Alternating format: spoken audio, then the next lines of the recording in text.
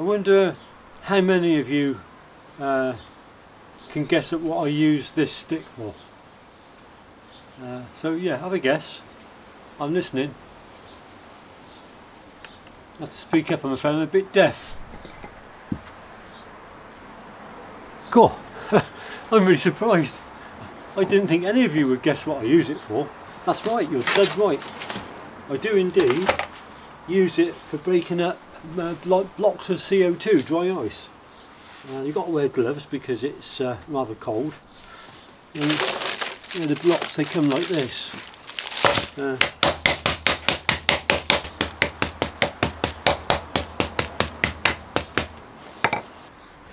and once they're uh, broken up like that,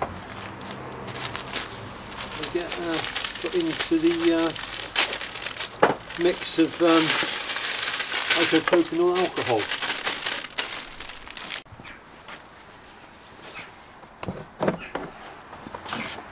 This forms a slurry uh, and that's around about, liquid is around about minus 80, minus 90 degrees centigrade and it's uh, just about the right temperature for uh, doing your, your freeze quench for converting your retained austenite when you're doing stainless.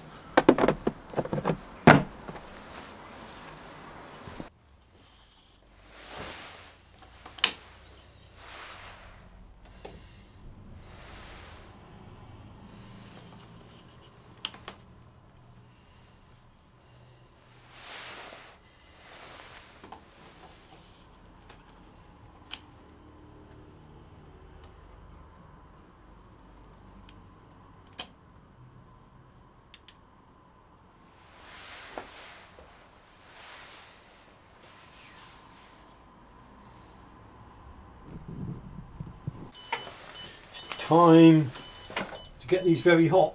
1065 degrees centigrade in actual fact.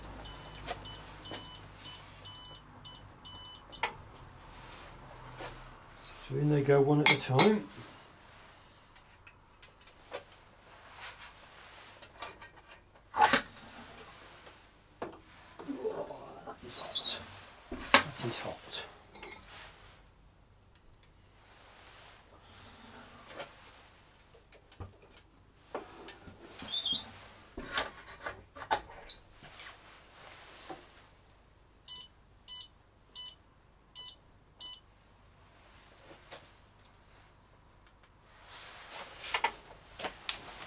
we go, time to come out now. They are hot, there's one. There's the other.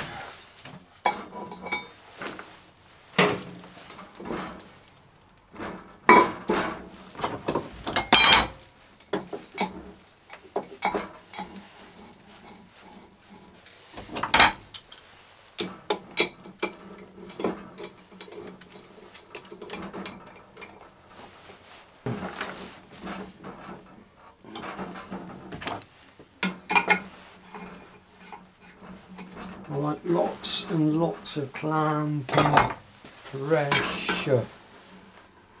I find that's the best way to keep your blades flat. I have no idea how much force I'm actually applying. I just know I wouldn't want my fingers trapped underneath all that lot.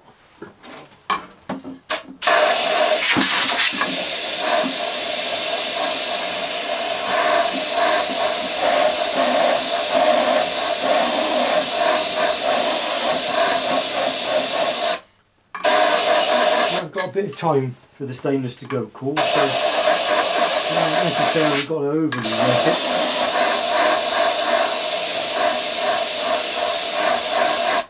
I find that if you don't have the clamping pressure, sometimes they can warp even under plates.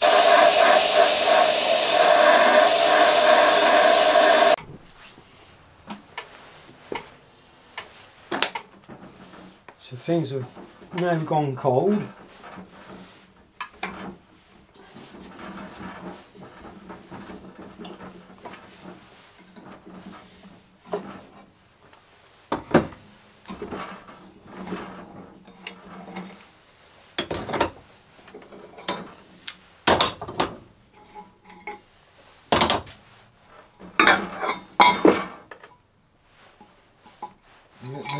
Cold.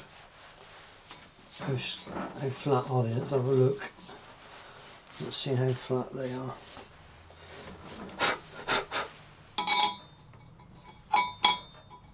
Yeah, that's pretty flat.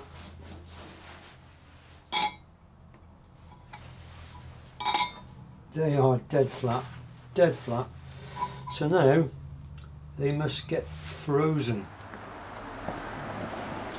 So they got to stay in the sub-zero now for 30 minutes.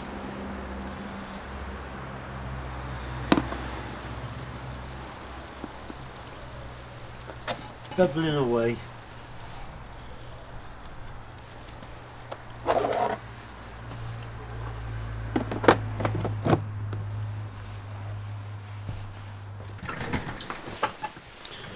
Time to do some Rockwell testing now. They've all come out super flat. There they are, look. I don't know if you can see that. They are really flat. That's thanks to that real positive clamping pressure that I use. Uh, and you haven't got to be in such a such a hurry either with uh, getting the, the blades cooled because they actually will harden using air cooling methods. So you've got plenty of time. Anyway, uh, I'm really happy with the um, hardnesses. I tested them last night. I was burning the midnight oil, oil last night. By the time I went to bed after the second temper, it was uh, gone one o'clock in the morning. So let's just uh, have a review of the uh, Rockwells. They should be around about 60, 60.5 or something like that. I'll tell you about the heat treatment that I used as well. Let's wait for the uh, Rockwell to tester to do its thing.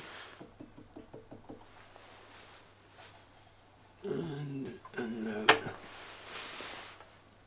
that's about 59.8. So uh, with that I am exceptionally happy. AEBL 59.8. That'd be good. That one's been cleaned up.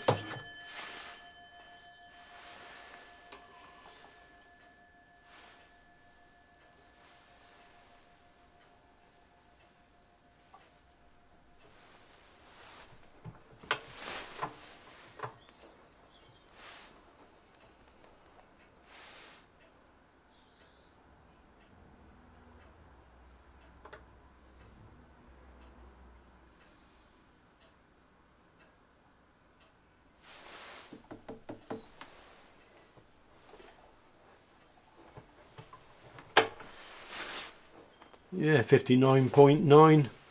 Uh, almost 60 HRC for AEBL. They're going to make absolutely superb knives. So I was burning the midnight oil, last night and uh, by the time I finished the second temper it was one o'clock in the morning. Um, I'm really happy with how the AEBLs come out and I, I the, the research I, I did a bit of research on AEBL heat treat and there's everyone seems to sort of like have a where you go to there, there there's different ideas uh, about the, the heat treatment of these various steels. And the most the, the one that made the most sense to me I forget the website now. Um, but anyway the, the the heat treatment that I used for the outcome that I've got I, I uh, soaked at 1065 centigrade for 15 minutes and then plate quenched and then uh, put in the uh, slurry, the, the CO2 dry ice slurry which is a mixture of dry ice and isopropanol alcohol for a minimum of 30 minutes. And then uh, I had two tempers at about 200 degrees centigrade and uh, that should have given me according to the the heat treatment online that I found that should have given me a a, a Rockwell hardness of around about 60 um, But when I took my measurements, first of all I measured the Rockwells after I plate quenched the blades. The plate quenched hardness came out at 59.7. Then I put them in the dry ice slurry for 30 minutes. Then I remeasured the Rockwell hardnesses and they came out at 61.2. Uh, I did the first temper, two hours at 200. That the Rockwell then came down to 60.4 and uh, I did the second temper.